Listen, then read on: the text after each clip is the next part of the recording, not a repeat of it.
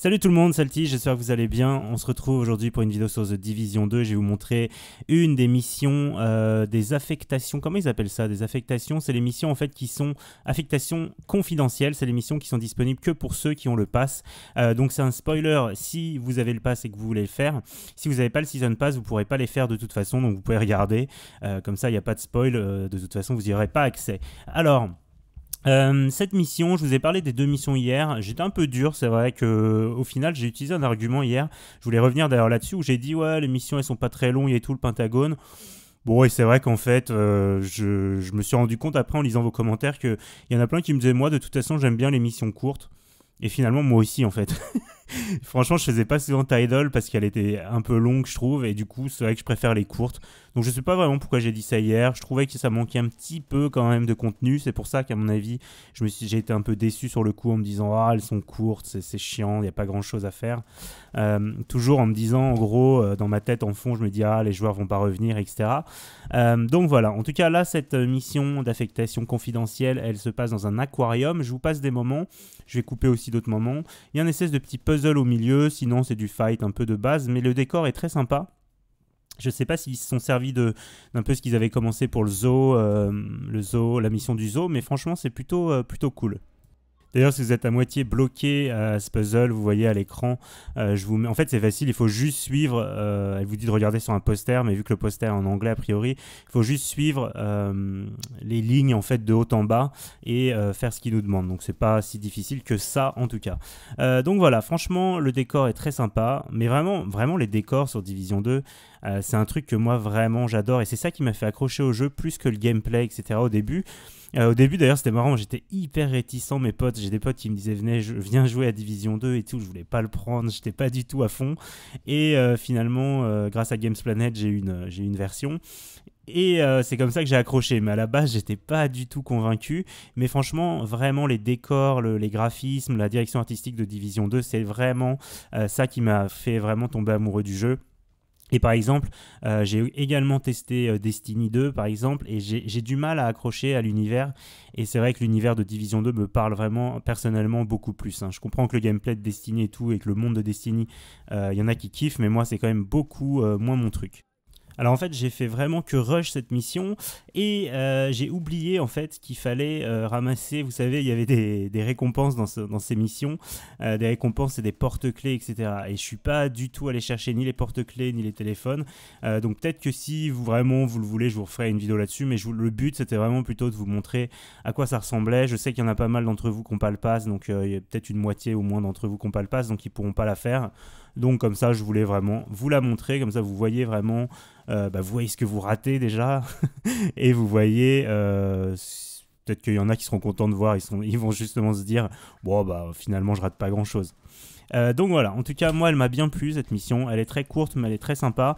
Euh, j'ai pas trouvé les salles où il y a les porte-clés en rushant, mais comme je vous dis, j'ai pas du tout cherché. J'étais vraiment en mode rush pour essayer de faire cette vidéo et de vous montrer la mission.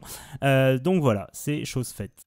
Globalement, la mise à jour, moi je trouve que l'idée d'avoir ajouté 38 items nommés, c'est vraiment cool. Franchement, ça, rajoute avec des talents parfaits, ça rajoute vraiment beaucoup de choses euh, pour le jeu. Euh, je pense que là, on est maintenant sur une très bonne base.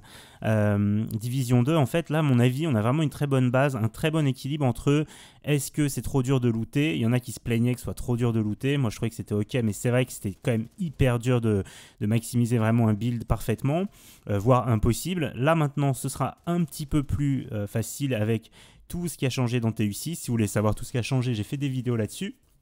Mais euh, du coup, je pense que là maintenant, on part quand même sur une super base.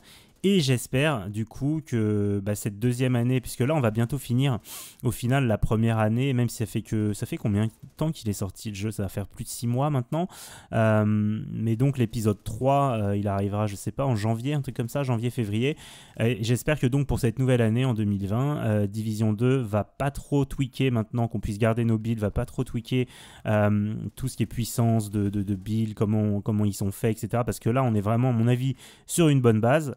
Et j'espère que du coup, il y a du contenu qui va arriver. Et là, maintenant, j'espère vraiment qu'ils vont nous mettre, je sais pas moi, des modes survie, des modes Battle Royale, des modes, euh, je sais pas moi, 8 contre 8 en PvP, des, des trucs dans la DZ, des events dans la DZ. Je, dis ça, euh, je dis ça euh, comme ça, hein, des underground de Division 1, des, je sais pas, il y a tellement de choses. Qui sont possibles de faire sur jeu. C'est incroyable le, le, nombre de possibilités de choses qu'on peut faire. donc voilà, j'espère vraiment qu'il y aura des modes de jeu et du coup du contenu qui va arriver sur Division 2 pour cette deuxième année avec le deuxième raid. J'espère que ça va pas trop se traîner non plus.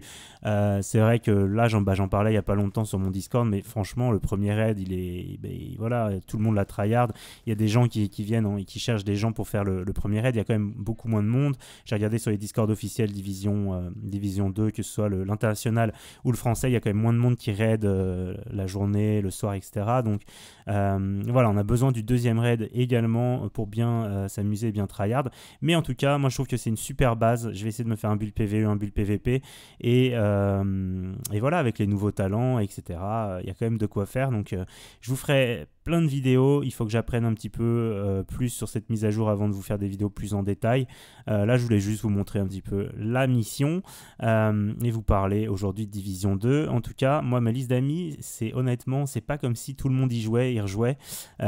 c'est quand même pas blindé. Euh, donc voilà, c'est peut-être un petit peu inquiétant, mais à voir comment ça évolue, à voir si vous revenez. Dites-moi dans les commentaires si vous, vous êtes revenu faire l'émission du Pentagone, ce que vous en avez pensé, si vous allez rester pour faire des builds, etc. Ou si vous avez juste fait l'émission et que vous repartez euh, directement sur un autre jeu. Euh, écoutez, ça m'intéresse, moi, pour le coup, donc n'hésitez pas. à me dire dans les commentaires ce que vous pensez de tout ça. Et bah écoutez, c'est Altistine. Je vous dis ciao à tous et on se revoit très bientôt de toute façon sur ce jeu ou sur d'autres. A plus tard. Ciao à tous.